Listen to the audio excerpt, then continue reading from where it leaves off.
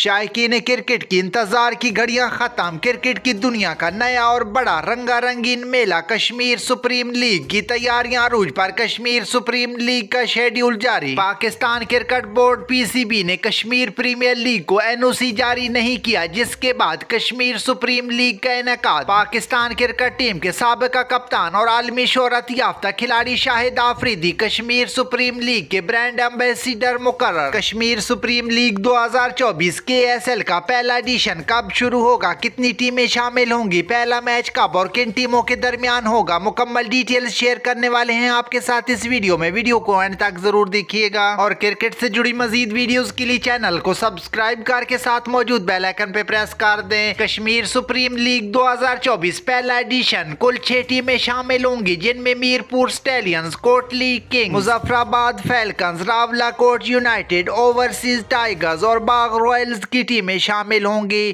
Kashmir supreme league 2024 के पहले edition का पहला मैच रावला कोट और कोटली किंग्स के दरमियान 4 नवंबर 2024 को खेला जाएगा। मैच पाकिस्तानी टाइम के मुताबिक शाम छह बजकर पंद्रह मिनट पर शुरू होगा। ये थी अब तक की ताज़ा तरीन अपडेट्स। क्रिकेट से रिलेटेड मजीद वीडियोस के लिए चैनल को सब्सक्राइब करके साथ मौजूद बेलाइकन पे प्रेस कर दें।